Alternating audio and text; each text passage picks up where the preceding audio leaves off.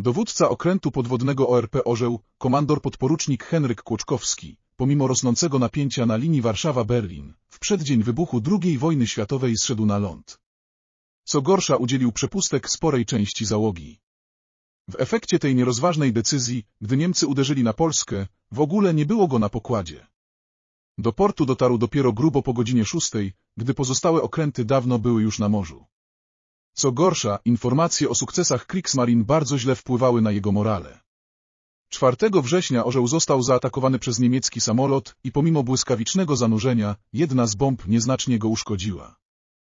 Gorzej z komandorem. Jego morale legło w gruzach i bez zgody przełożonych skierował okręt na północ i zaczął skarżyć się na coraz to inne choroby. Kontradmirał Józef Unruk, dowiedziawszy się o sprawie nakazał natychmiastowe wysadzenie kapitana w neutralnym porcie i przejęcie dowództwa przez zastępcę. Ewentualnie przypłynięcie na Hel i wymianę dowódcy. Kapitan nie miał zamiaru zbliżać się do zajętego wojną polskiego wybrzeża, dlatego skierował okręt do odległego Teliny. Nasz okręt wpłynął do estońskiego portu 14 września późnym wieczorem. Planowano, że orzeł pozostanie w porcie maksymalnie 24 godziny celem dokonania niezbędnych napraw. Jednak pojawił się problem. W porcie kotwiczył niemiecki statek, który miał wyjść w morze następnego dnia.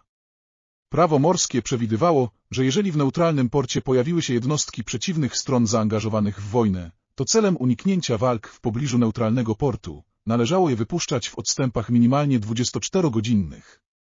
Orzeł mógł zatem opuścić port dopiero po dwóch dniach. Niestety wieczorem Estończycy poinformowali pierwszego oficera Jana Grudzińskiego, że nasz okręt zostaje internowany do odwołania.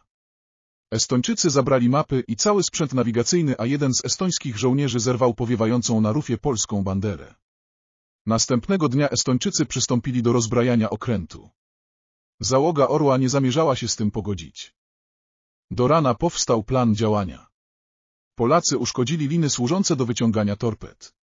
W czasie, gdy Estończycy próbowali zorganizować zastępcze, Bosman Narkiewicz, udając, że łowi ryby, mierzył głębokość akwenu na trasie planowanej ucieczki.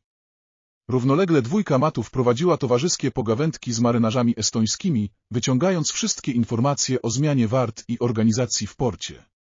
O północy zgasły wszystkie światła. Kapitan Grudziński już miał wydać rozkaz ucieczki, ale na pokład wprosił się estoński oficer, który uważał, że Polacy mogą mieć coś wspólnego z awarią oświetlenia. Po półtora godzinnej pogawędce stwierdził, że Polacy jednak chyba niczego nie knują i opuścił pokład. Ucieczka mogła się rozpocząć. Po cichu ogłoszono strażników pilnujących okrętu i zabrano ich na pokład. Następnie przecięto liny cumujące i odpalono silniki. Estończycy chyba uporali się z awarią, bo wkrótce rozbłysły reflektory. Nasz okręt nabierał prędkości i kierował się na drogę do wolności. Niestety wychodząc z portu okręt zahaczył o falochron i zatrzymał się. Sytuacja zrobiła się naprawdę kiepska, zwłaszcza, że pomału zaczęła odzywać się estońska artyleria. Na szczęście niecelnie. Kilkanaście minut zajęło polskim marynarzom ustawienie okrętu na właściwy tor. Na szczęście żaden z wystrzelonych przez Estończyków pocisków nie trafił w nasz okręt. W końcu udało się wypłynąć na głębokie wody. Polacy okrętem bez map i broni oraz bez kontaktu z dowództwem postanowili przedostać się do sojuszniczej Anglii.